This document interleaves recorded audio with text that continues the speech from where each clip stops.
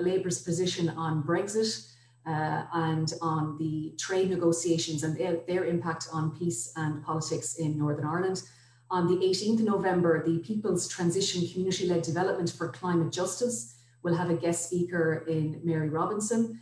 And on the 23rd of November, uh, our TASC Conversations with Decision Makers series continues uh, with Taoiseach Leo Varadkar. So three super events coming up in the next month.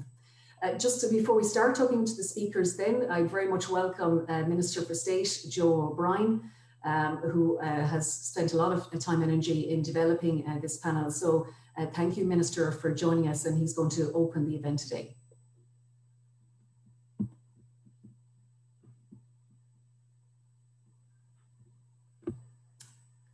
Minister, can you hear us? Might just need to check the mute button, please.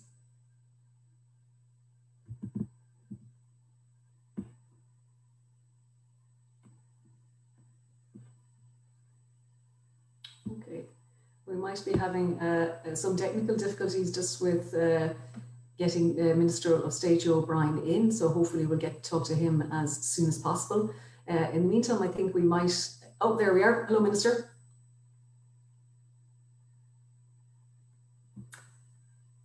Hello, Minister O'Brien.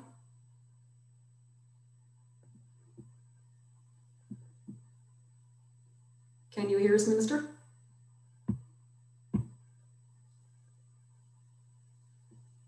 You just might need to unmute yourself, Minister, yeah, please. Apologies, yeah, apologies Hello. for that. I don't know how long you were waiting there. Not at all. Uh, thank you for, for opening the event for us. Not at all. And look, thanks to everyone. And uh, shall I kick off? I don't know how, how long you've been buying time there. Uh, we have we have about five minutes, please. Thank you. Okay. Look, thanks to everyone. Thanks to Shauna. Thanks to TASC for organising today and inviting me um, to, to, to open this discussion about well-being indicators. And I suppose, look, for too long, um, we've relied on GDP um, as a measure of how well we're doing as a country and how well our citizens are doing. And for Ireland in particular, I think that's proved to be a very inaccurate tool and a, and a poor tool. Uh, there has been some modification of GDP, of course, in Ireland, but it still has its faults. And its main limitations remain that it is just a measure of money in the economy. Uh, it's not a measure of the distribution of the money. It's not a measure of who's getting most, who's getting least.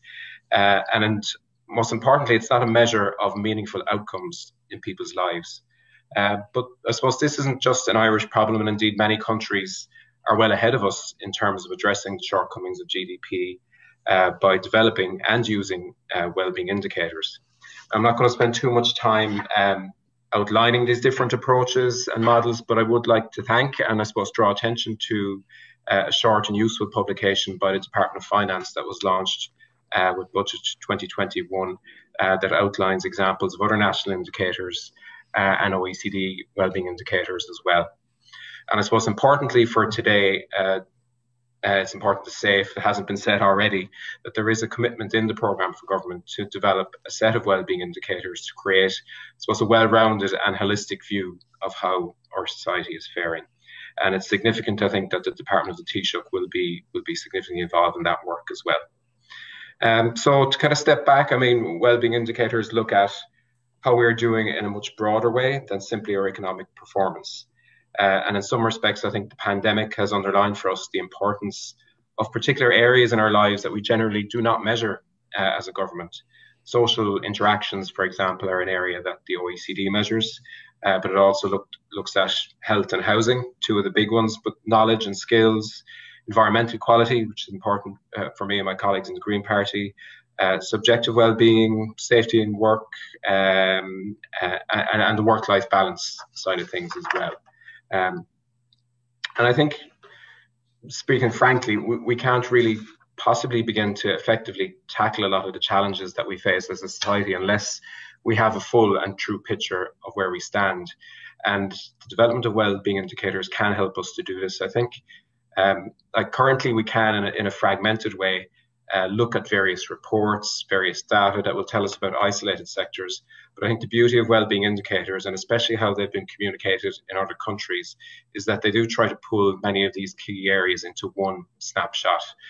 Um, and for me, potentially the most valuable aspect of the development of well-being indicators in Ireland is that I feel they can and they should uh, be used in decisions around allocation of resources and reallocation of resources. Uh, now, many of you would be familiar with the kind of attractive color-coded dashboards of other countries uh, that are used to display their well-being indicators, and these are very interesting and, in fact, very insightful as well. But frankly, in my view, it will be for naught unless indicators are used to tackle unequal outcomes for different groups of people. So, well-being indicators could and should be a very useful tool in tackling inequality. Uh, and this is why it's important, in my view, that whatever indicators are developed and agreed on, that they are connected to a real mechanism that can address underperformance or inequality in a well-being outcome. So there is a job of work to do, obviously, in terms of uh, agreeing a set of metrics to, to measure what is important for individuals, families, and communities within Irish society. And I think there needs to be wide and open consultation on this. Uh, and I think it's I think it's only fair, excuse me, if um, I declare some of my interests in this area. Obviously, as Minister for Community Development and Charities, I feel it's crucial that the community and voluntary sector are consulted in this regard, not just because I'm Minister for the area, but also the fact that there has been already a lot of bottom-up thinking and planning uh, done in this area, particularly by the public participation networks uh, all across the country. Each PPN is charged with developing a wellbeing statement at local authority or community level, and many have actually uh, done so already. Uh, and I want to acknowledge um, the work of Social Justice Ireland, uh, the Environmental Pillar, and others in developing the toolkit to help PPNs nationally uh, to develop wellbeing statements. Um, to sum up, I suppose a, a couple of other relevant points under my remit.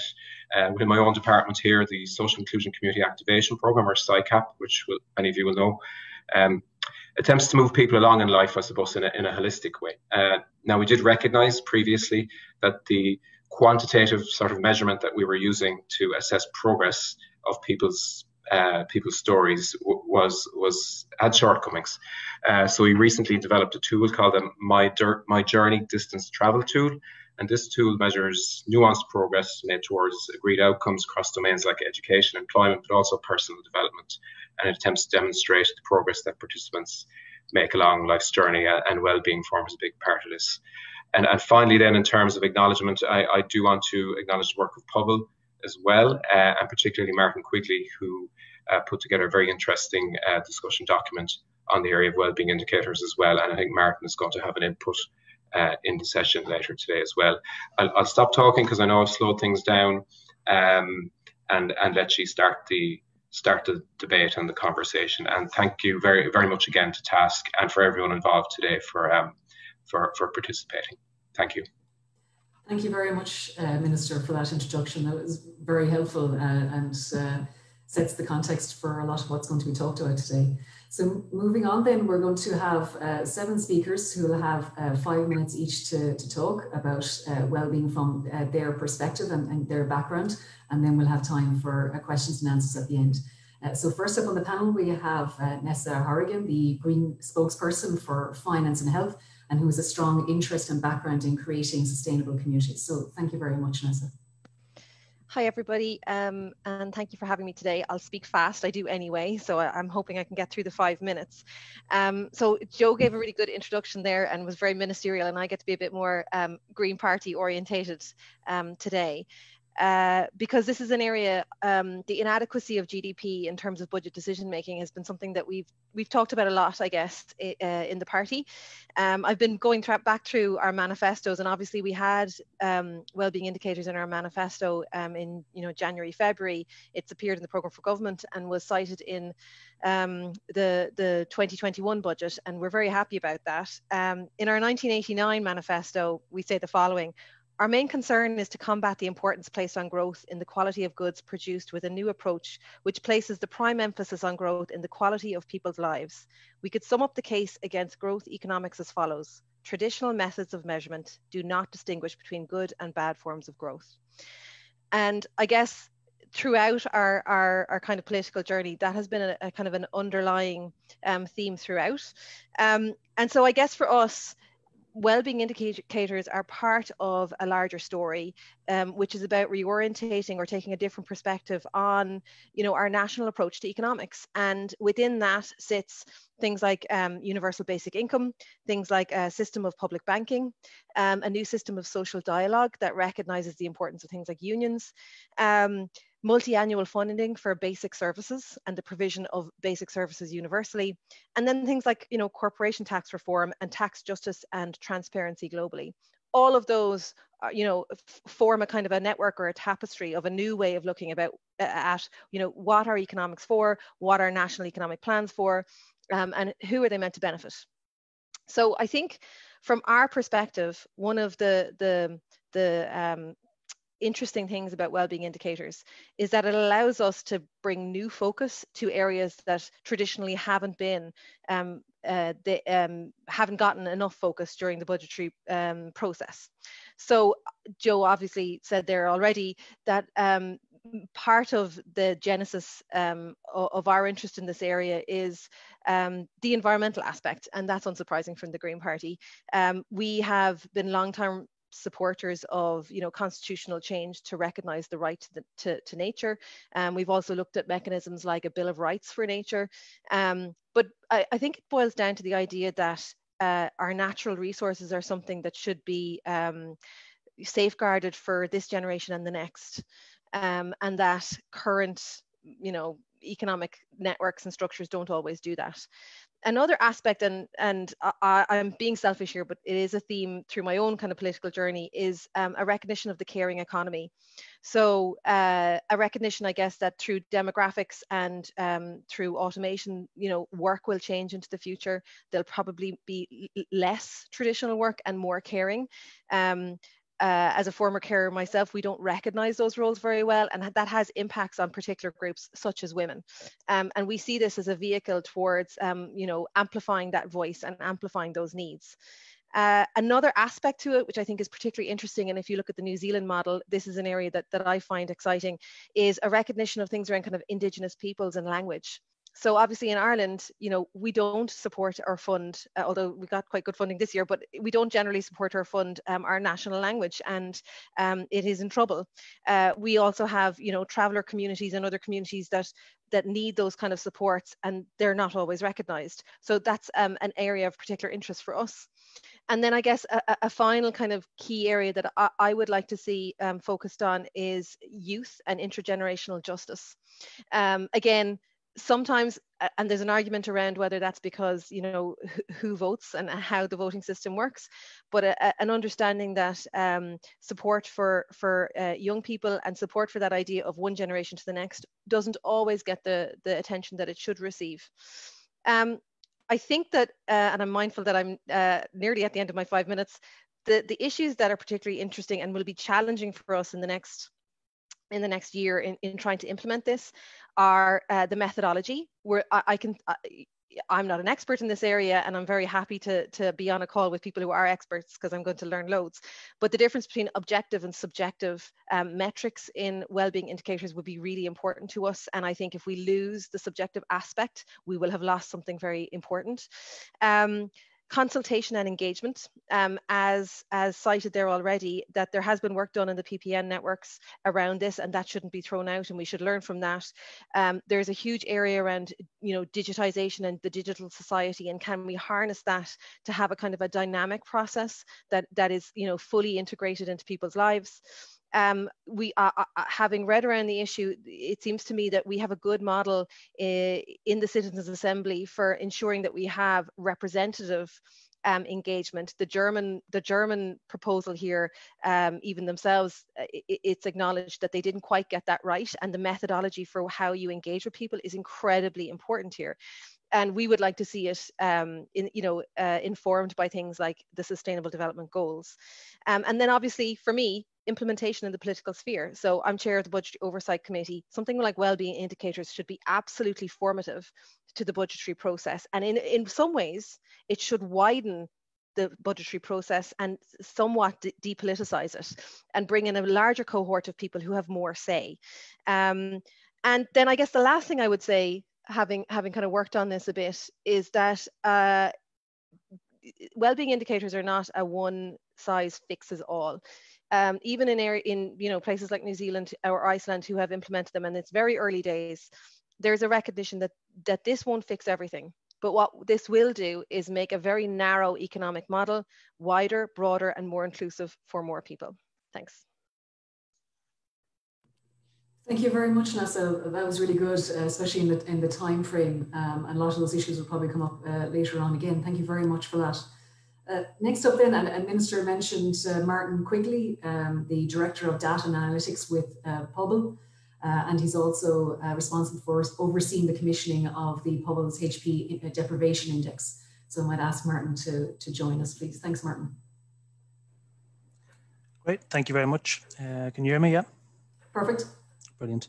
Uh, I will set my five minute timer uh, and try to try to stay within within time. It's it's certainly a challenge given given the uh, the breadth and and depth that that could be gone into in, in any area of of uh, well-being or, or uh, quality of, quality of life indices. So yeah, first of all, thank you very much for, for inviting me along to speak on this this hugely important uh, topic and, and to be to be part of of the the, the national debate in the area. Uh, so yes, as you say, my name is Martin Quigley. I work in Pobal. Uh, we're an agency that acts on behalf of government, um, administering funds. So last year, in the region of 750 million uh, across areas of, of social inclusion, uh, inclusive employment, and uh, increasingly in, in, in the area of early learning and care. So while funding administration is, is primarily what we do. Um, our, our, our, purpose, our why we do it, um, is is to combat social exclusion, uh, to improve outcomes uh, for communities, families, individuals, and, and children. So it's for that reason that I suppose our interest slash our involvement uh, in the field of nationally agreed well-being and quality of life indicators is ultimately twofold uh, along each of those areas. So the, the first that, that I'll speak about briefly um, is in the area of, of social inclusion. And I suppose from our perspective, uh, just the, the, desire to ensure that social inclusion, community cohesion and equality are, are at the heart of the construction of, of an index such as, such as this. And I suppose the fact that these principles uh, you know, have very real implications. As we know, what, what gets measured uh, gets done. So fr from a social inclusion perspective, I think it's worth noting, you know, things like uh, the fact that averages can can be quite can be quite misleading. Averages may may hide what the, the actual lived reality is for for certain communities, certain groups uh, who, who may be may be missed or left behind if, if we're just looking at, at things like like national trends or national averages. Um, so, so looking, for example, I suppose one, one, example we would see is, is the likes of the, the Welsh model, where you know they, they don't necessarily just look at, say, uh, average life expectancy. What, what actually gets measured is the difference between average life expectancy in the most affluent area and, and the, the most uh, deprived area, with, with one of the policy objectives being to reduce that, reduce that gap. Um, I, I, I could, could, speak a little bit more about that area, and, and perhaps we'll have a chance to do so uh, during the, the Q and A. But I, I, suspect other other speakers may also touch on the importance of social inclusion and equality within uh, well-being index. So I'll jump on maybe to the second point from our perspective, which is coming from a funding organization. I suppose the question of, of the, and the concept around utility of, of the index, and it's, it's been touched on by uh, by Neasa already in relation to uh, you know the, the impact and, and dovetailing with uh, the budgetary process. Um, and, and it is back to that question of, of what are what are the various purposes of, of the index? Is it you know is it going to be purely around you know the, the dashboard and reporting on national well-being, or are we actually serious about embedding it within our systems so that policies, programs, resources can be orientated uh, in a way and towards uh, the, the, areas, the communities, the individuals uh, that, that need them the most. Um, so I suppose an example of that would be would be our work within within Pobal um, in terms of the the generation and the application of resource allocation models or RAMs as we term them, uh, where, where very often we would use uh, data such as the Pobal HP Deprivation Index to identify the most disadvantaged communities in the country, so that the funding allocated can be weighted in such a way that reflects that regional or local uh, disparity in terms of of affluence versus versus deprivation, and you, we would use resource allocation models using that kind of data under, for example, SICAP, which, which uh, Minister O'Brien has referenced, uh, as well as Childcare Capital Leader, uh, the Department of Education and Skills used the deprivation index as part of their uh, identification of services under the DEIS model. Um, so if, if one of the objectives of the index is to be able to leverage uh, this data and this information for for real programmatic and budgetary utility, uh, you know, there are then things that we would need to consider in terms of the, the construction and the development of the index. So one of those would be the need to be able to break down information, say regionally. So for example, at, at the local authority area, to be able to see these indicators by area so that from a national level, resources can be uh, you know, can be weighted in, in one direction or another, but also equally and, and just as important and mentioned in some of the comments I see already, ensuring that information and data is available to local and regional policy actors, to, to you know, local community development committees, to, uh, you know, to, to LCDCs, to, to, to the PPNs, uh, that that information about their area in terms of, of what's going well and what isn't uh, can be can be utilized at, at the regional at the local level uh, for, for that decision making and, and for, for distribution of, of fixed sums of, uh, of, of, of, resources. Um, and yeah, so I suppose that was just one one important piece that that that is important in terms of the, the construction of uh, of the index. It does probably point to the need where possible as well to leverage and utilize existing national data sets, administrative data sets from across government departments and state agencies so that they can underpin uh, as where possible as many of these indicators as, as possible. And we're actually in a pretty good space, I think, in, in terms of much of that as, as a starting point of that journey. Um, just given, I mean, we, we, are at the top of the European leaderboard in terms of open data. So the, the routine publication of administrative data under open data license, we've been the top of the European leaderboard there for three years. Uh, the information that's on data.gov.ie is, you know, can, can certainly be leveraged for this kind of work. Um, but then, look, I suppose my, my time is up. My time has just gone off. So, in, in summary, I suppose the main point we're making here is that in order to ensure that a model can generate calls to action in areas where we're not performing well, so both domains and geographic areas where we're not support, uh, performing well, we need to begin with that end in mind and ensure that the indicators aren't just measure, measurable, but are also actionable. So I'll, I'll leave it there. Thank you very much. Great. Thank you very much for that, Martin. Uh, very succinctly put. Thank you. Um, next up, then we have related to the uh, to the issue of measures and indicators is Damien Lenihan, a statistician with the Central Statistics Office, and Damien would been heavily involved in the CSO's well-being of a nation. Uh, thank you very much, Damien. No problem at all. Thank you very much, Michelle. Um, yes, I'm going to speak, uh, as, as Michelle said, my name is, is Damien Lenihan. I'm a statistician in the Central Statistics Office based down in Cork. Um, and I'm going to talk about the development of our set of wellbeing indicators that we used in the Wellbeing of the Nation uh, 2017 publication. And I think a lot of it has been touched on. I suppose the impetus behind it has been touched on already. Um, I suppose we, we look at the, the Stiglitz report, and I, I mean, not just the CSO, but generally the Stiglitz reports in 2009 as I suppose the, the real kind of moment of change, I suppose, where things moved towards well-being and, and perhaps moved away from GDP. But I think it, it started long before that. I mean, Simon Kuznets, Kuznets who would have been uh, the Nobel laureate who de- developed, uh, one of the main developers of national accounts, um, said the welfare of a nation can scarcely be inferred from a measure of national income.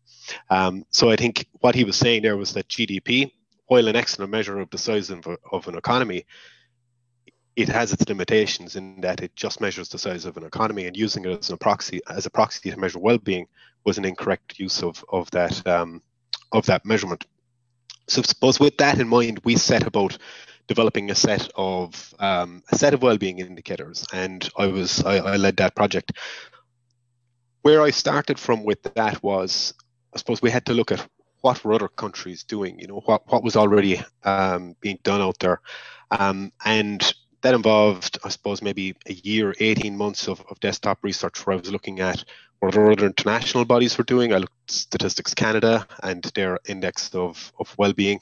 I looked at the UK, um, the, what the ONS publications uh, that had been released there. I looked at Virginia Performs, a state in, in the US and, and other states in the US as well, but that's just one that comes to, to mind as, as well as uh, work that had been done in, in Australia, work that was done by the OECD and work that was done closer to home as well um, by the National Economic and Social Council uh, in their Social Matters publication.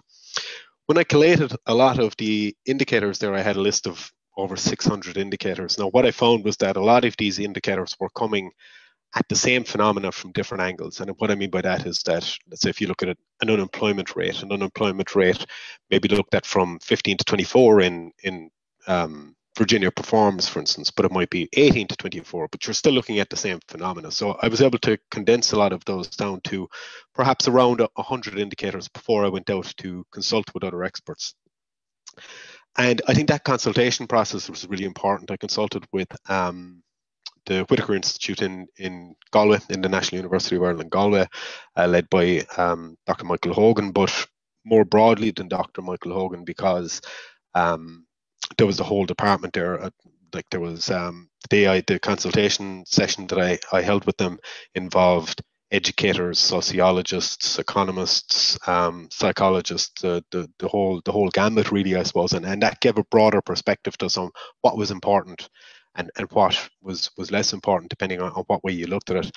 Um, I also would have talked to the National Economic and Social Council to get their view on, on how they developed a set of indicators and to get their view on, on our set of indicators, along with the Department of Health. I, I worked with, with Miriam Owens and the Department of Health, who would have been they would have been developing, I suppose, similar um, similar set of indicators, but more from a health perspective to support their, their the Healthy Ireland program.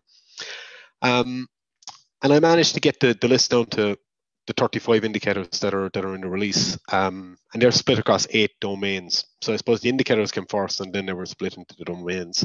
I suppose the next challenge for us really was to decide on how were we going to disseminate this information or communicate this information because there's a wealth of information in 35 indicators.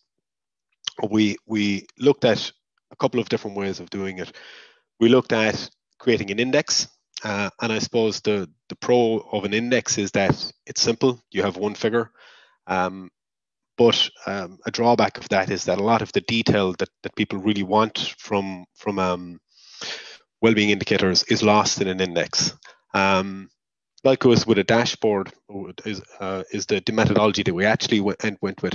While some of the simplicity is gone, where you're not just tracking one figure, um, the level of detail is is much greater and I think some of some of the indicators when we look at them, you know, we, we looked at some economic indicators like average debt per household, some indicators related directly to work, um, like unemployment rate, I suppose, is the, the prime example there. Then we looked at some governance and equality metrics like female representation in the Dáil, um, also things like quality of income distribution, um, and and other other areas like public safety, you know, sort of proportion of people that, that felt safe walking at night. Um, in their areas. So I, I, I know my, my five minutes is up there, but I suppose future steps for us will be transferring that into a more um, user friendly and uh, user interactive uh, dashboard, much like our, our macroeconomic key macroeconomic indicators dashboard that, that's on our website. Um, but I'll, I'll leave it there because I'm, I'm I'm sure there, there may be maybe questions, and I, I want to keep keep things moving here. So thank you very much for listening. Thank you very much for Damien for that. And I'm sure we'll come back to some of those things you mentioned later about the, the indicators. Um, next up, we have uh, Senator Alice Mary Higgins, who leads the Civil Engagement Group uh, in the Seanad and is also a member of the Committee on the uh, Climate Action and on Employment Affairs and Social Protection. Thank you very much, Senator. Myself. Hi, um, thank you very much. And uh, it's already a really, really interesting discussion. Um, I had a load of things I want to say, and then I heard the last two discussions around indicators, and I, I had a whole different set of comments I would want to make. But uh, I do think, in terms of indicators, I think it's really important that that we don't see ourselves as having shrunk now down to 35 and narrowing further, because I think, in fact, it is important that that is an, a widening conversation, that it's still open. And for example, we know there's over 160 indicators in relation to the Sustainable Development Goals, and it will be crucial. Those are things Ireland needs to measure anyway, that those are part of how we're measuring well-being. I think they're really important. Again, the, the Sustainable Development Goals might not be the limit of how we measure national well-being, but they certainly should be part of that. Um, other things in terms of what gets measured, I, I've noted in different countries, there's different things that are, are, really positive. One of the things that's interesting is how time is measured. I know there is some measurement of time use in Ireland, but something that I know has been done very interestingly, actually at civic level in different countries, is around time poverty. So it's not just simply around, but you know, what time you have, because we know in previous work around that idea of measuring multidimensional poverty, that time poverty and income poverty tend to inter intersect as well. So I think those are really important factors. Um, I think it's really important that we don't fall into a space of um, just the snapshot. And actually, a lot of what I'm going to talk about is, is time. So that we don't simply fall into a purely distributional mechanism where we're simply looking at the distribution of resources in an average year, but that we have that kind of space uh, that I know the local PPNs have been doing in terms of their well-being indicators, where they're looking at well-being in terms of this generation and the next generation. And I think that's really important that they're able to measure cumulative progress towards, and it's again somewhat of what the minister had said around that distance traveled as well, so that we we we make sure we don't just simply eh, maybe expand our household reporting, but that we actually look to that community. And again, I found it interesting that there were measures in terms of safety, but that we haven't really looked yet at measuring participation in the fullest sense and those kind of social indicators. And it's really interesting now because with COVID, we know and we've seen that basically people connecting, people being well, people feeling safe, like these are what make people feel um, well and make people feel that they're, they're okay. So those, those are important things. Um, what I, I, wanted to talk about particularly, I think, is um, uh, I, again, first of all, that I'm really glad that this is a whole direction we're traveling. Of course, GDP doesn't capture things. That was really interesting in the Canadian model. I was looking at theirs, where uh, in one of the culminative pieces, there was a 38% increase uh, in GDP, which was only a 9% increase on the well-being indicators. And that really shows us how skewed your measures can be uh, when we were just focusing on, on GDP or GNI plus. Um, but perhaps what I wanted to kind of uh, uh, focus on, and was interesting, was in the description of this event.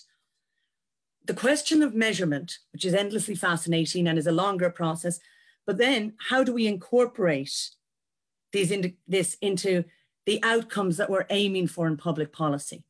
And this is something that I think is crucial. And it's a learning in relation to, um, we had commitments. It's something I would have worked on myself in the Women's Council on gender inequality proofing of budgets in the last Oireachtas.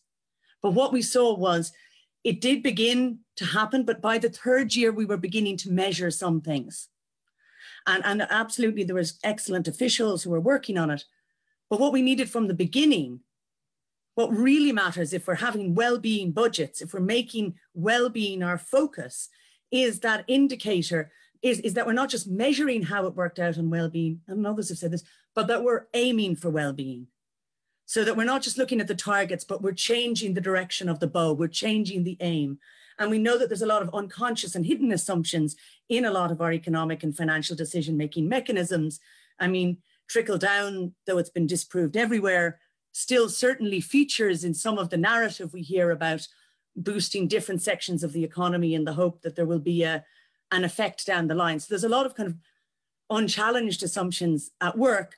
And I think we really need to be making those statements at the beginning that from next year, this is a budget that shows that it is aimed at well-being. And again, the Scottish model is really interesting because they have an equality statement which accompanies the budget on the same day. So it's not simply measuring a little bit further down the line how that worked out for equality, but it's saying, this is why we made this decision, this is why we made that decision. And it shows that the aim is well-being. I think that's going to be a really important test. And the reason, again, I'm coming to time, uh, the reason I think that that's important is in terms of time, we're not in a, a, a, stationary environment. We are in an environment where, for example, next year, the fiscal rules um, have been suspended this year and next year in a European context. So if we have measures that, that we believe are going to lead to really good well-being outcomes, next year we will have a lot more freedom to trial and to do those measures. So I think it'll be really important that um, we don't just see a piloting of well-being next year, but that we see next year as a big leap, next, you know, budget 2022, as a big leap forward in the use and orientation towards well-being outcomes. And I think there's there's really good potential for that. And there are great measures already there, as I said, in the SDGs, in some of the measures that were put in place around equality and gender proofing. Um, Nelson mentioned care, and I think care is going to be really fundamental. And I, I, keep coming into time in a way. That's that time poverty piece again. Care, I think, will be a key outcome. So there's a real opportunity there. And maybe I, I some of the things I liked just last year is the cost benefit tool. So again, I know this is something that's been used in New Zealand. And again, it's translating those goals into a real outcome. So I'm just, am I, is that my beep? I'm not sure of time. Into real outcomes is cost benefit and policy. So that if you actually have cost benefit that factors in well-being and factors in well-being outcomes, that makes a real difference in terms of when you talk about benefits. So it's on those tools. And I think, for example, this is a mistake that was made in the early work on equality budgeting, which has now been, they've begun to rectify in Scotland and elsewhere, where they focused on expenditure, but not on taxation and tax expenditure. So it's a really interesting thing they found there is that if you're applying a well-being test, it's not just simply through the Department of Social Protection or Health, for example, but that you look, for example, at tax reliefs and say, what are the relative well-being or non-well-being outcomes of various tax measures that we might make or tax reliefs that we choose to give to different sectors. So I think that we're at an exciting time. I think there is an international context which is encouraging different thinking. I think we have an EU context which is given the space for very transformative approaches to budgeting. And I'm really delighted that we have a government that are, you know, space, you know, and, and indeed uh, Neasa with oversight of the budgetary process in her committee, who are really trying to orient this way. But I think we do need to seize it as a moment and make sure this doesn't become a kind of peripheral experiment, but that it's it's an orientation. And lastly, very final point, again, the PPNs, the local levels, it's really important that that well-being is factored in um, to resource allocation, but that also means giving more power at local level around resource allocation. That has to be accompanied by that so that so that the, the understandings and insight that those kind of local groups and local well-being work um, are, are generating, um, that that can be matched and that good faith is kept by ensuring resources and, and again, that the local development plans um, are able to deliver uh, on the places where local people themselves are identifying uh, a, an intersection. And again, uh, the environmental and social factors, to my mind, are just deeply entwined in this. Thank you very much. I look forward to the rest of the discussion. Thank you very much, Senator, for that. Thank you. Uh, next up on the panel, we have uh, Jennifer Wallace, who's Head of Policy at Carnegie UK Trust. And uh, Jennifer has been heavily involved in examining uh, international practices with regard to the development of wellbeing frameworks. Thank you, Jennifer. Good afternoon um, and greetings from central Scotland. Um, I hope you're all well and it's, it's a pleasure to be with you virtually for this event. Um, as Michelle said, I've been working now at the Carnegie Trust for almost a decade on concepts of well-being um, with the What Works for Wellbeing Centre, which is based in London, um, with the Scottish Government, Welsh Government, some work with Northern Irish Executive um, and internationally with the OECD. and, and normally when I do these kind of presentations, I spend a chunk of time explaining what I mean by well-being, um, but I'm not going to do that this afternoon, um, partly because I've only got five minutes, um, and partly because I think there's actually a far more interesting question um, that should probably engage our attentions first, which is what do you mean by framework? Um, because we have delved into the conversation here quite deeply in terms of what the indicators are but the indicators themselves are just measures and proxies for something. So when we talk about a well-being framework, what we're really getting at in terms of the international community interested in well-being is that there's something wrong with the way that we currently structure our services, our decisions, and our economies. And that we need a different framing for that. And well-being economies or well-being or societal well-being um, aligned to sustainable development goals is what we mean by a different type of framing. And in that, at its core, it's talking about rebalancing social, economic, and environmental, um, and pulling those things together into more of a, a, coherent balance across our society. And I think it was Senator Higgins that mentioned the uh, the issues with trickle down economics, um, and that's absolutely what is in the, the firing line of the work on well-being. Um, but we need to change our structures in order to do that effectively. So when we look at wellbeing frameworks around the world, we don't just see dashboards, um, and actually we don't include the ONS dashboard uh, on wellbeing as a wellbeing framework. we look at systems where it is far more integrated into the activity of government. And a wellbeing framework usually includes a statement of intent, uh, a statement that um, quite often I sum up as the Mars approach to delivering government. Uh, we want a good society where you can work, rest and play. Um, it then has a series of outcomes, um, and those are the outcomes that you most often see aligned to the Sustainable Development Goals. We want a healthy society, we want a fair society, we want a greener society. They're quite often aspirational in their language um, about the kind of society that we all want to live in.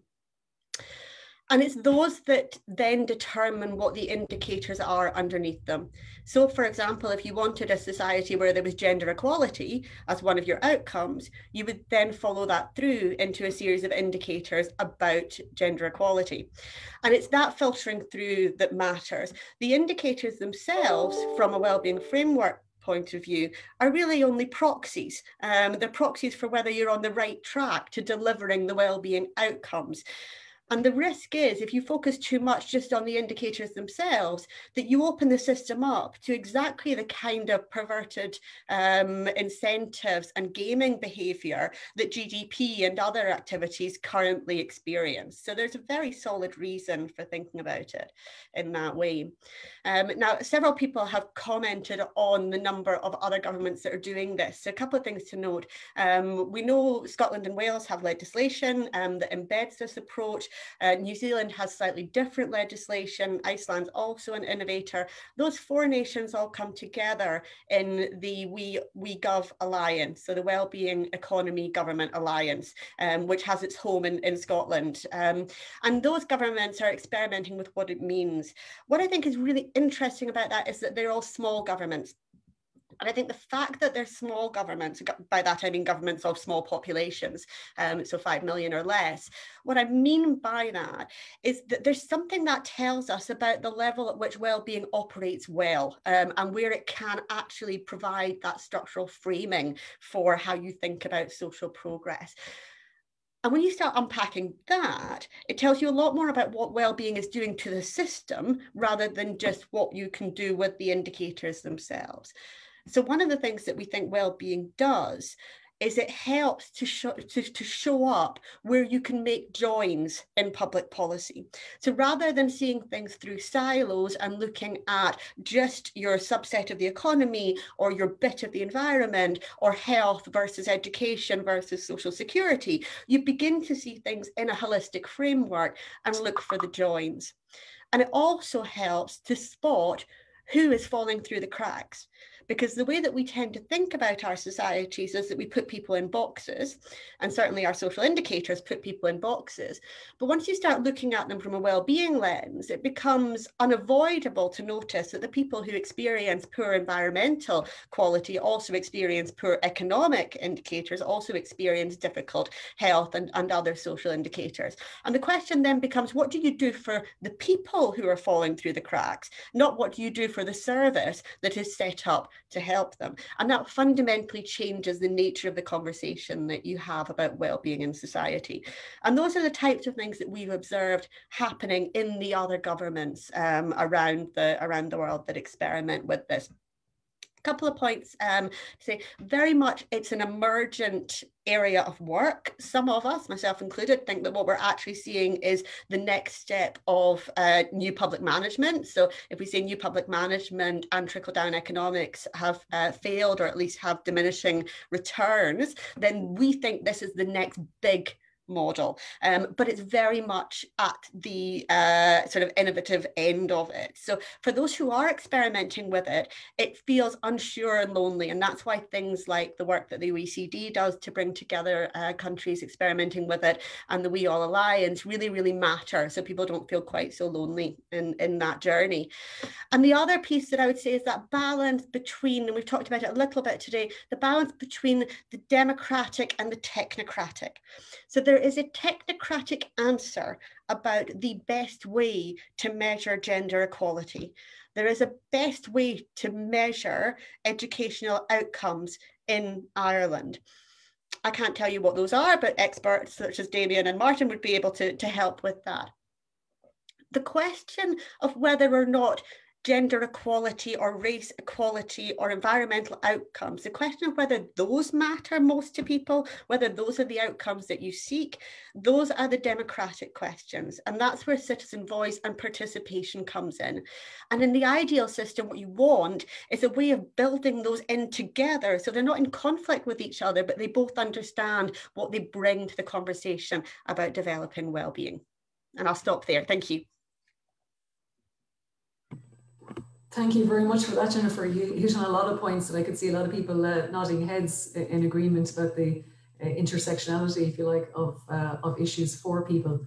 And thank you for that. Uh, next up, we have Dr. Peter Doran from the School of Law in Queen's University of Belfast. And uh, Dr. Doran was joint governor of the High Level Roundtable on work um, on well-being in Northern Ireland, and he's spokesperson for the Wellbeing Eco Economy Alliance uh, in Northern Ireland. So thank you very much, Peter, for joining us.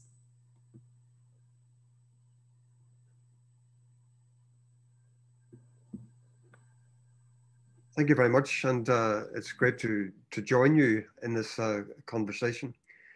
Um, I was delighted to to work with Jennifer um, a few years ago on the uh, a very rich conversation, a multi-stakeholder uh, conversation with uh, some of the political parties, senior civil servants, and other stakeholders from academia and NGOs that resulted in the development of a, a societal well-being framework and indicators that was uh, really the, the basis for the design of the programme for government in Northern Ireland in 2015. And with the restoration of the uh, institutions um, in the New Decade, New Approach document, uh, there was a reaffirmation um, to pursuing that work and that uh, focus for the organisation of the, the new PFG here in uh, Northern Ireland. So it's, it's an area where I'm delighted to say that uh, those of us who've worked in this area in uh, the North um, may be able to share some of our experience. And uh, a lot of what Jennifer uh, said um, reflects and will be reflected in some of the comments um, that I'd like to make as well. I've organized my, my comments around some of the questions that were circulated. So you wanted to address what does well-being mean and uh, what values might be reflected. But as Jennifer said, it's, it's uh, I think it's important to keep our eyes on the framing, um, also the framework.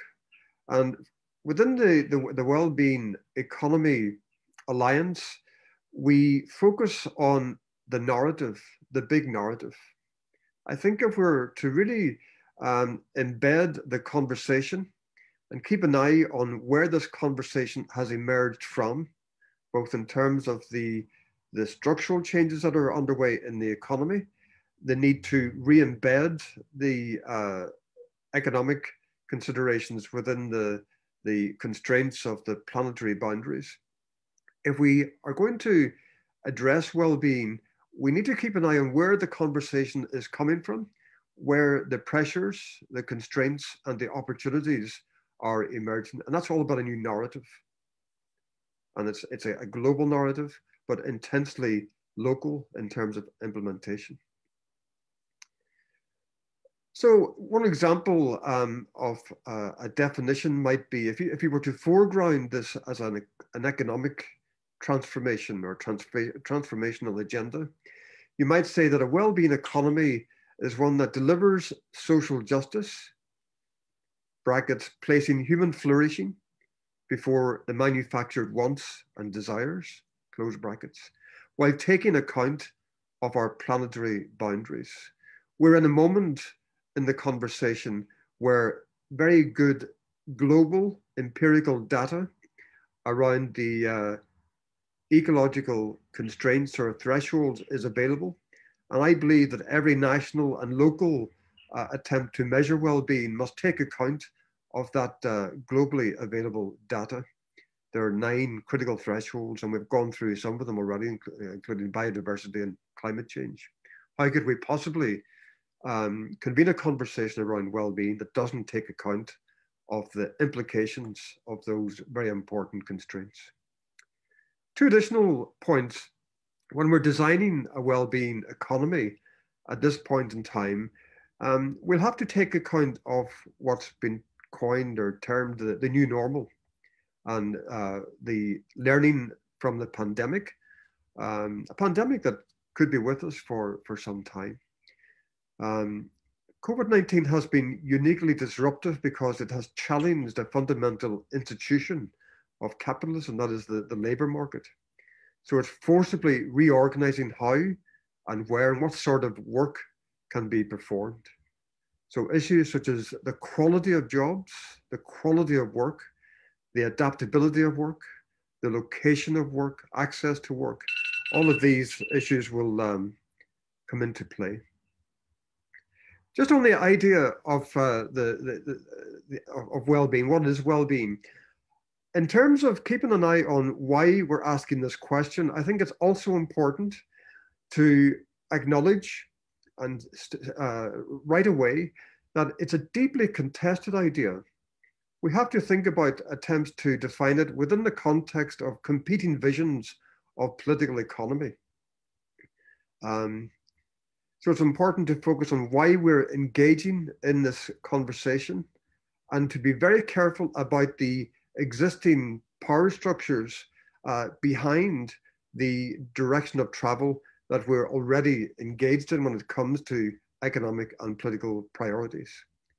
One version of the story behind the rise of well-being as a government concern has been told to us already by Will Davies in his book, The Happiness Industry, and I, I recommend it, how the government and big business sold us well-being.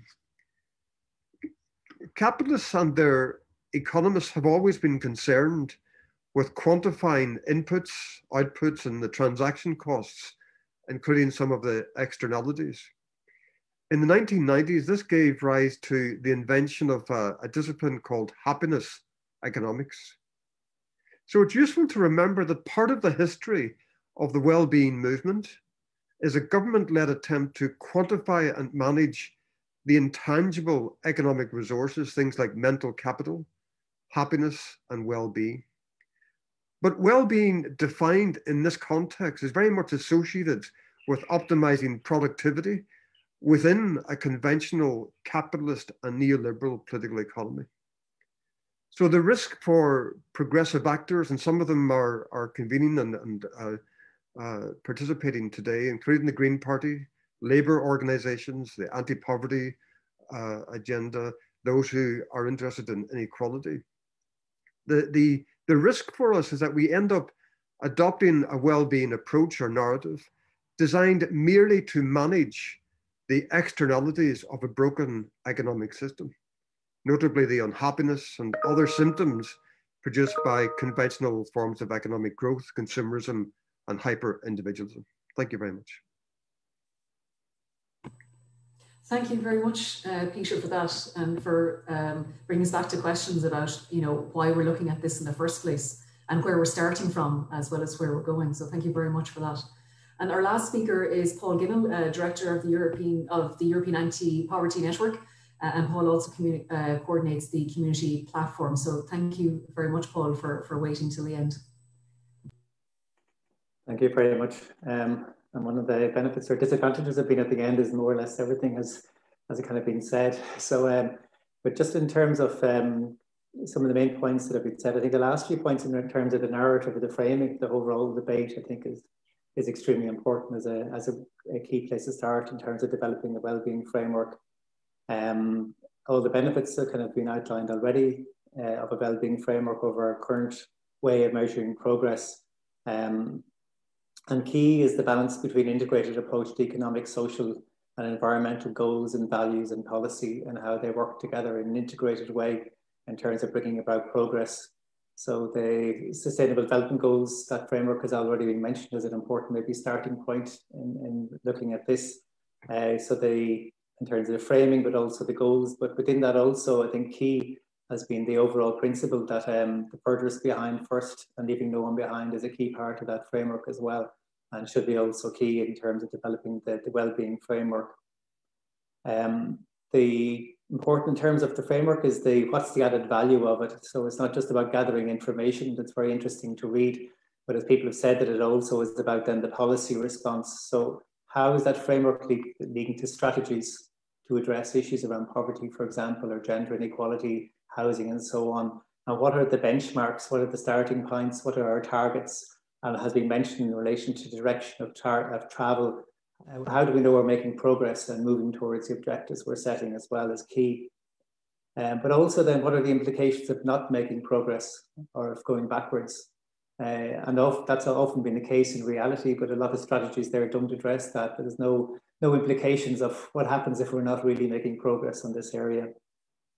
Um, also, another thing that's already in place but not really working quite well is the issue of proofing. So uh, whether it's poverty proofing or, or environmental or equality proofing, uh, this is extremely important. And one of the advantages of an integrated approach such as this means that we're, we're looking at the impact of economic, social, environmental policy on each other in an integrated way that was mentioned already as well.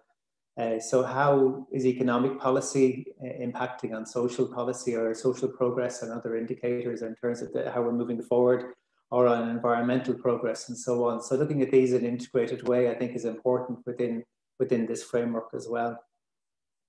Um, the issue of quality, as you mentioned as well, so whether it's in relation to income, looking at income and wealth inequality, uh, services, uh, employment issues, the issue of quality of those is extremely important, as it is in terms of participation or democracy and who, who's involved in that, and how are people able to engage in the decision-making structures that we have in place as well.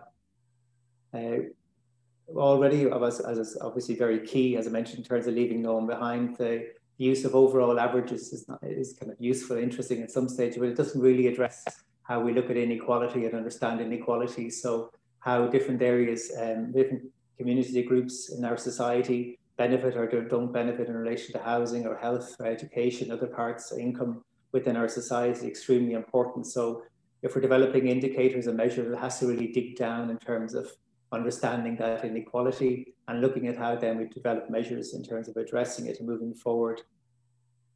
And also what's been mentioned earlier, which is kind of key, is outcomes. So inputs and provision access is extremely important, but really what's the what's the provision, the importance in terms of outcomes? Uh, and earlier on as well, it was mentioned in terms of say health inequality or life expectancy. So how do we ensure we're, we're bridging that gap between the life expectancy of those from uh, lower income uh, communities compared to higher income background, people from higher income backgrounds, including traveller community and other minority communities as well within our society how we're we measuring and how we're we looking at those as well. Uh, just in terms of the process for developing it and participation, that's extremely important to ensure that we engage with the most marginalized communities in, develop, in developing this framework. The PPNs have been mentioned and that framework has already been mentioned. But that's extremely important in terms of how we develop and progress and implement this, as is the resourcing of those communities. I just saw a, a comment coming up in the chat in relation to resourcing uh, community development. And that's something that's not really been uh, prioritized uh, in the last good number of years. And there's been a de-resourcing of communities, very disadvantaged communities in terms of the type of voice they can have in impacting and influencing decisions that impact on their lives. And that needs to be a resourcing that recognizes the need for those communities to have an autonomous voice. Um, and that's something that needs resourcing and supporting and implementing this process. Um, maybe just in terms of time, the um, last couple of points that there are a lot of data gaps, as you mentioned, and these need to be looked at as well, whether that's subjective or objective data. I think both have very much value in relation to this and how we move forward. Uh, but we need to understand the where, the, where there are gaps in terms of what I mentioned, in terms of looking at inequality in particular and how we, how we address those. So I'll uh, just leave it at that for now. Thank you. Thank you very much, Paul, for that. Um, a, a, number of really important points about uh, resourcing and data gaps as well. Um, so we have some uh, time for questions, um, and I might just um, take some of those questions that have, have come up uh, before the, the panel started from, from the audience and, and during, uh, during the session.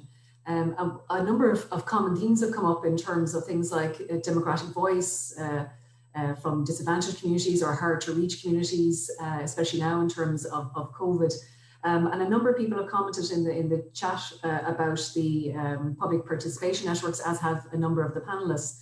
Um, and uh, wondering about people's the panel's experience of the PPNs, and they've already developed at a local level uh, well-being statements uh, and a vision for their local areas. And how can one of the questions is, well, how can the work already done there uh, fall into a bigger conversation or national uh, vision for uh, a well-being framework?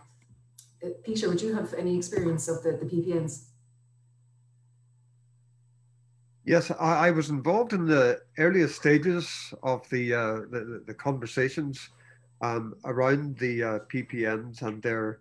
I understand that after their pilot programs, that that uh, project is now to be rolled out to all of the uh, the, the local partnerships.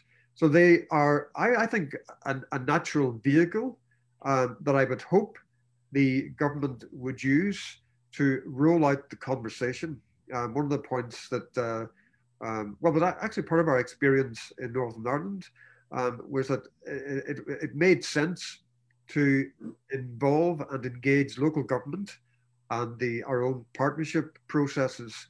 And uh, as Jennifer will, tell you, some well-being exercises and uh, programs were developed on the back of the, the work that we did at the executive level. Um, so I, th- I, think it makes sense if you're going to have an inclusive, meaningful conversation. Um, everything is delivered locally, so the local partnerships have to be uh, involved, and of course, the, of course, they're now well rehearsed in some of the key issues that we've raised today. Thanks for that, Peter. Um, anyone else want to come in there? Senator Higgins, have you experienced the PPNs? Uh, yeah, I think um, one thing that's really interesting, a lot of I, I have done some uh, just workshops through the Irish Environmental Network with PPNs around the Sustainable Development Goals, and I know that a lot of the same uh, participation networks that are basically been drawing up these kind of well-being indicators that they're also they are very much tying them into the Sustainable Development Goals as well, and I think there's a, an opportunity now where in the programme for government, there's this commitment that the new local development plans, the new county and city development plans are meant to have this dimension of the sustainable development goals. But it, it is around translating that into something incredibly meaningful at local level. And i think the same thing goes for well-being. I think this is why uh, there's a natural overlap. As i say the sustainable development goals don't set the limit of a local imagination around well-being but they certainly provide i think a really good core for that.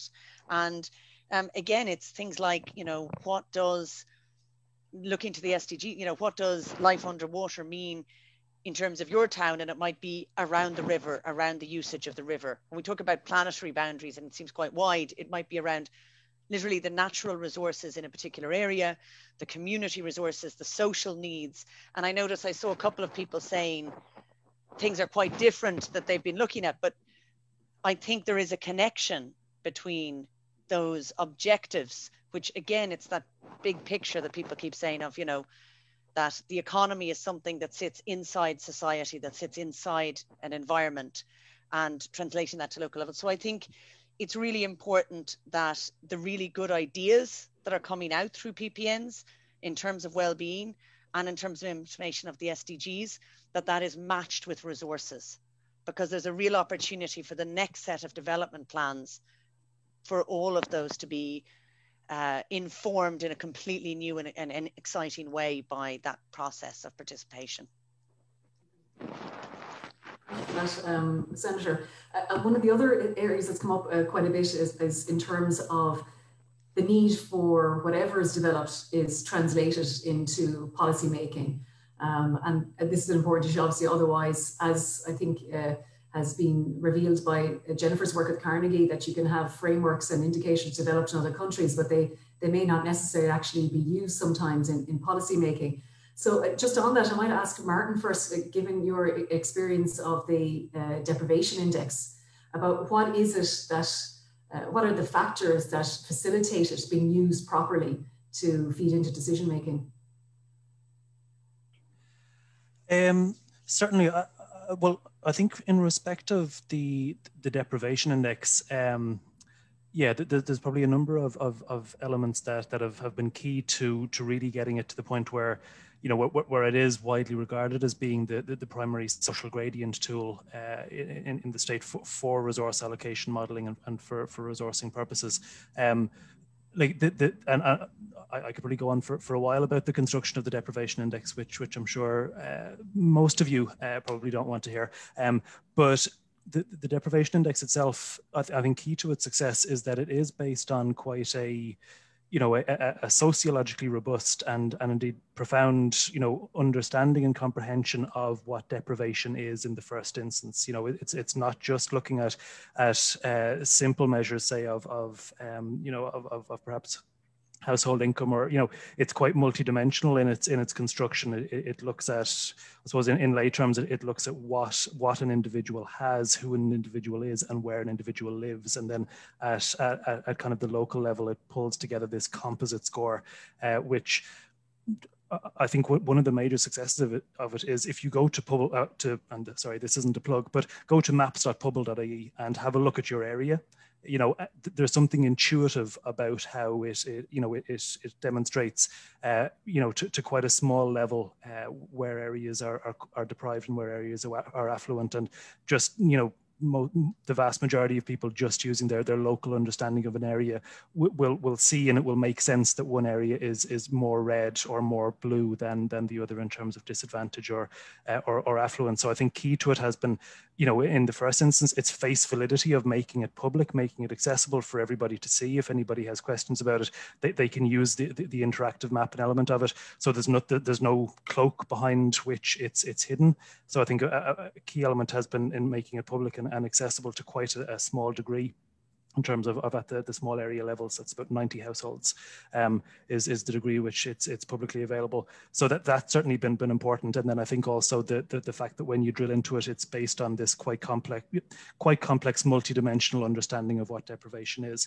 So with, with, with that in place, you know, that that's really allowed us then to actually translate that from each area in the country, and again, quite a granular level, each 90 households or so having their own score, which actually means for, for the likes of, of our colleagues, you know, uh, say in, in, in PPNs or working in local community development, that they can, you know, again, see which areas require, uh, you know, are, are characterized as the highest disadvantage, you know, even within that, looking at specific measures such as where are lone parents, where are the highest pockets of, of unemployed, et cetera, et cetera. Um, so useful at both both the local level, but then also being able to translate that back to things like national programs to be able to orientate um, you know, resources under the likes of the social inclusion uh, community activation program, SICAP, being able to use the deprivation index is one of the measures that we look at when uh, you know when when doing appraisals for uh, for, for capital grants under in the in the area of childcare. Uh, you know, it was it was used in the original allocation of funding under under LEADER, uh, and I think possibly the, the one that people would most commonly associate it with would be how the, the Department of Education and Skills have used it uh, as part of their mechanism for identifying schools that are uh, included under under the DEIS model. Um, so yeah, I think in terms of how do we get to the point where it was quite well used, it was around being able to quite sim- simply explain it, uh, being able to give that face validity of the fact that it makes sense to people, um, having it open to the public, and, and then also having it very usable from a policy perspective. So I suppose we had a, a, number of people who would have been kind of trained up in how you can actually translate the data to what we term a resource allocation model. So that was quite important for for for when you know when say a government department or um, you know an agency would look and say ask the question of how can we use this for for resource allocation. That there there was some supports there to be able to do that. Thanks, Martin. And Senator Higgins, you wanted to come in there? Yeah, just a couple of comments. I think um, Martin spoke very well there about the deprivation index, and, and it, that is going to be the test on the well-being measures is that they can be used for resource allocation, that they can be be usable. Um, but I just maybe a couple of comments in terms of the deprivation index was good, but it, in terms of where it maybe should have, the extra places it could go. Um, the deprivation index, one reason that I think it's really important is because Ireland's only, I think, twice had a national survey on wealth, partly because very small numbers of wealthy people tend to be statistically insignificant numbers in terms of the numbers you can get to reply to a survey. So we tend to not often have an actual measurement of wealth, but deprivation is the measurement of the absence of wealth. It doesn't just capture people who have, have less income, but people who don't have reserves, who don't have capital, who don't have other forms of wealth that allow them to to access the things they need. So I think it is almost a reverse wealth measurement in a way, um, and I think it's really important. It captures. It's interesting. The deprivation can often caption more than just uh, income measures. Um, but two places that I feel maybe were always the next step on deprivation that never maybe quite have happened yet. One was around um, that minimum essential standards of living, which is almost the reverse. That's that positive thing, not just what is deprivation, but what do you need in order to live well. And we know the Vincentian Partnership did great research, and the living wage proposals were informed by that. But I was interested, I saw in the, the proposal from Minister McGrath, you know, and in some of the early that that living wage still isn't quite in there in, in some of the early indicators that have been looked at potentially around well-being. And I think that minimum essential standard of living living wage is crucial. And then the other thing is that community deprivation. So not just household deprivation, but if you're a community that doesn't have access to a sports field or that doesn't have access to a shared public space or that, you know, those kinds of measures. And I think, so I think there's some interesting places for the deprivation index maybe to go. that was just uh, my, my own comment. Thank you, Senator. And, and following up that then obviously in terms of the development of a, a national uh, framework, um, there's an issue about, well, as, as Peter Doran had mentioned here about, well, what does well-being mean uh, in a particular system? And, and, and the PPNs are very much at a local level, but in terms of the ownership and development of a framework at national level, um, who should be pursuing that and who should be taking ownership of that. So, uh, Neasa Hourigan, I, I might bring you in here about your thoughts about you know, who should be responsible for uh, for taking forward a, a national wellbeing framework? Well, I, I, think you know that kind of gets to the heart of it, and if we don't get that right at the very beginning of the process, we could find ourselves, you know, undertaking a huge amount of work and then not seeing the payoff in in, in terms of you know reorientating our, our approach to economy. Um, I know in in the New Zealand context, it, it was situated in kind of finance. Um, and there is an argument to say, well, look, that's where the real decision making ends up being, whether you like it or not, and be a pragmatist and, and situate it there. However, I, I do think there's a you know a corresponding danger there that um, ultimately you're quantifying everything in monetary terms. And and in a way that's what we're trying to get away from. Um, I, I, think that you know previous speakers have talked about those networks of power and it's really important. So you know at that granular you know community level and the 90 households it's so un- important that we understand the detail there and the real lived experience of people. But the corollary of that on the other side is that we have power structures at the you know at the macro level that can bring in that detail and then make strategic decisions around it. And um, just from from at the moment the budgetary oversight committee is answering a Dáil instruction around what work do they do because it's only set up since 2016 and the reason it was set up in 2016 is because the OECD sa- said that we do this really badly. We don't we don't check what we're spending. We don't look at the budgetary decisions that we're making. And we're you know we're we're not doing well in that area. Um, and i think that in my very short time here i've realized that um, there's work to be done in integration of those kind of that that kind of macro decision making that you don't necessarily have every every committee seems to work as a silo every every um, department seems to be working as a silo and there isn't a huge amount of integration uh, where people come around the table and say well you know th- this is what this particular group needs or this particular department. The example would be let's say in the netherlands budgetary oversight is actually uh, staffed by all the chairs of all the other committees from like education from social protection. And we don't do that here. So i think where where we're correct in saying that there's a huge amount of data out there in ireland about like uh, you know that we could draw on to do this work. And there's a huge interest in the community to to you know focus and participate in this kind of work there has to be the, the other side of it which is about harnessing it in a in a in a macro way in a big you know a big vision way. And if we don't get that right and we don't situate that decision making correctly then um then then you know we might not get what we want out of it. And and uh, i'm not entirely sure that that should be in finance or deeper. Thank you. Paul did you want to come in there Yeah, I think that the issue of um, integrated approach in terms of policy and moving from data collection to kind of policy decision making is extremely key in relation to this. Um, even in relation to poverty and social exclusion, at this point, there is data being collected in terms of poverty, poverty statistics, but trying to look at that in terms of, like you were saying, what happens when you're not going the right direction in terms of your data? What's the implications of that? And sometimes there's no real link often between data and, and policy change. Uh, and that's something we struggle with is uh, we have a poverty target on the one end, and then you have different measures, policy measures, but sometimes they're not really connected to each other. I think Alice Mary earlier on mentioned it important in terms of, let's say, income, in, income inadequacy is a major issue, uh, and we have data in terms of what's needed for a living wage and for a minimum essential standard of living.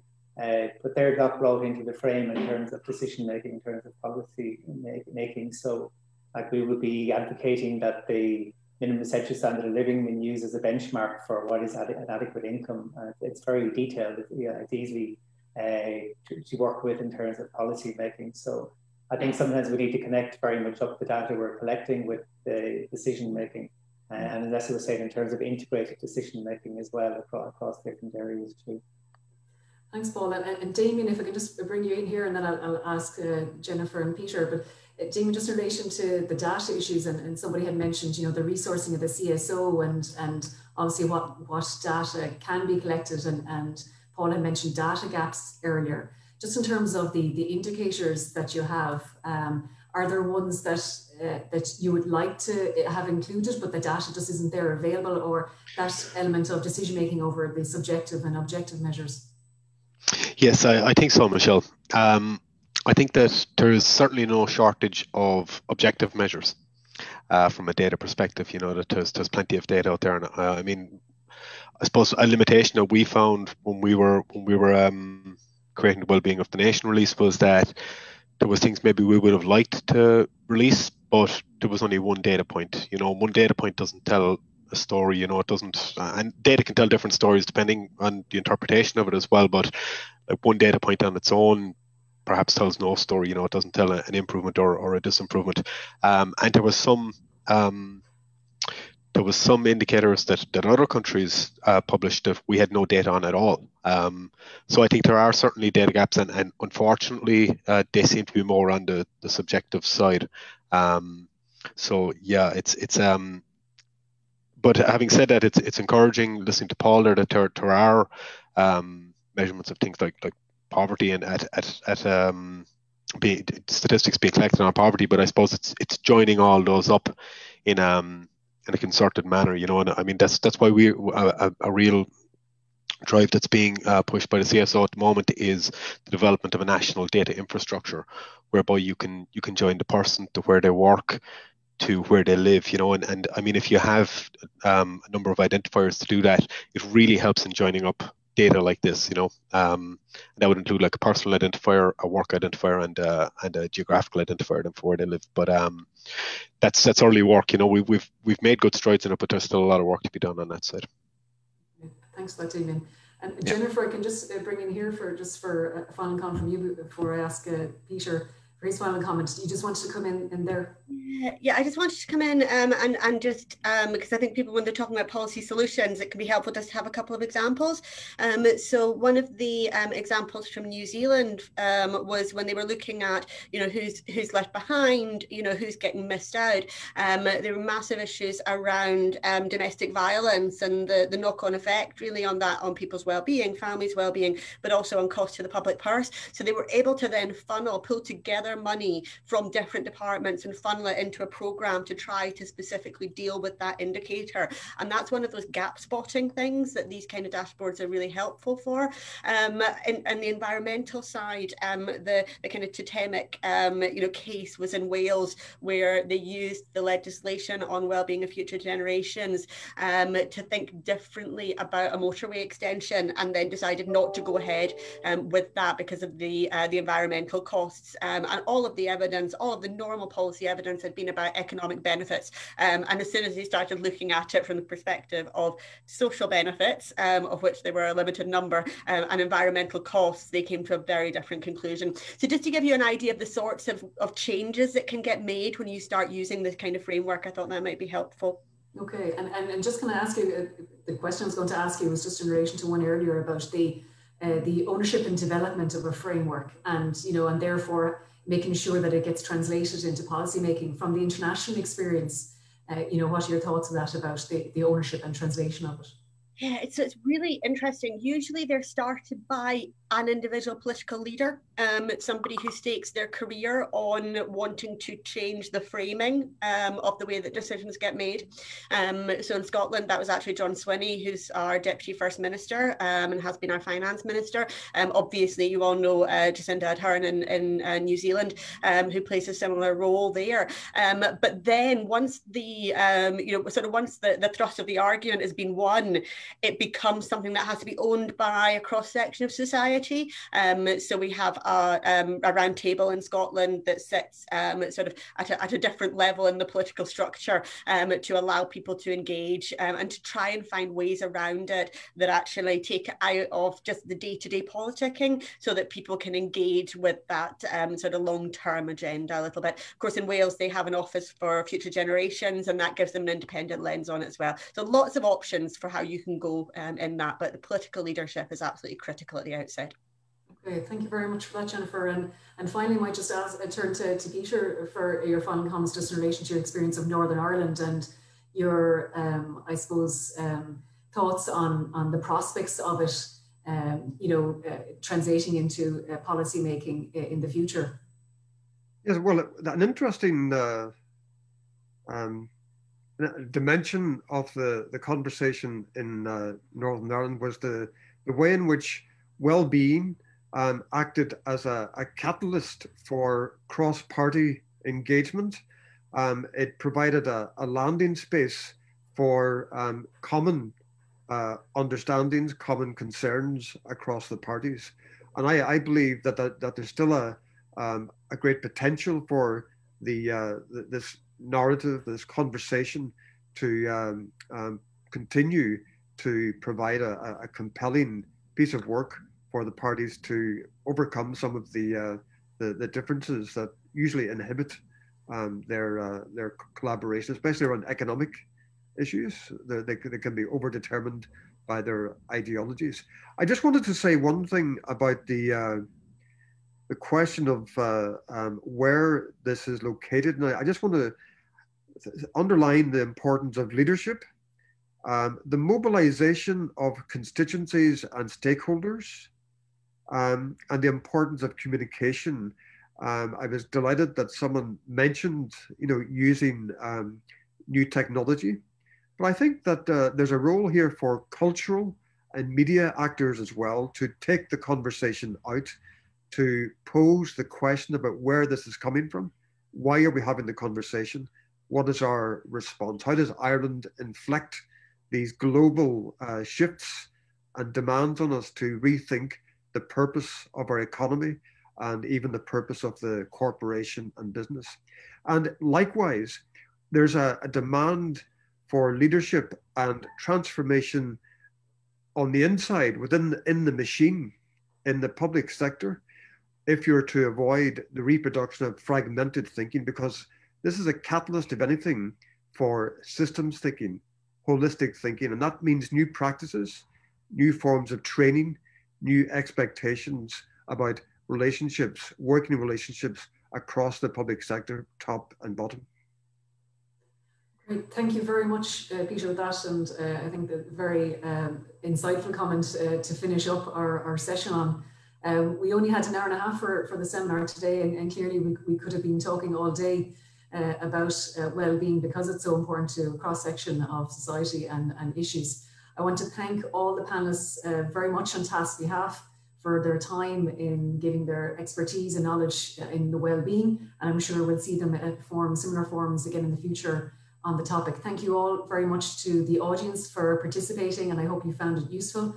Um, I might remind people again just of the next uh, TASC session on the 13th of November um, with the Labour MP uh, Paul Blomfield. Uh, thank you very much to everyone and please look at the TASC website for more information on TASC work. Thank you very much everybody.